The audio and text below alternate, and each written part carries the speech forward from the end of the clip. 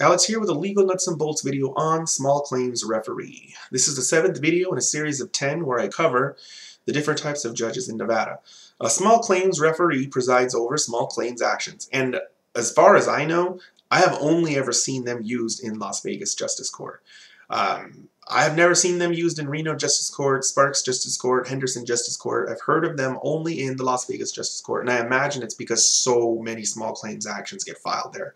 It just must be a tsunami of cases, and the justices of the peace, there just aren't enough of them to deal with them all.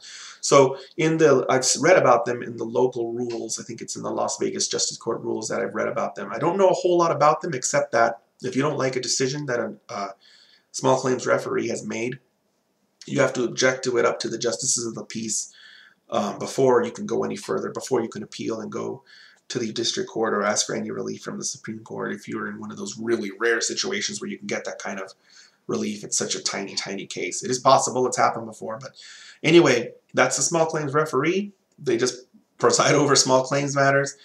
And as I mentioned, if you don't like their decision, look carefully into the um, objection rules because that's the only way you're going to get an elected judge to actually look over the decision in your case. Small claims referees are not elected.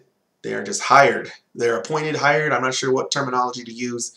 And usually they're just lawyers that are just learning a little bit about judging. They're not, usually it's not like, you know, a really advanced, super smart legal genius.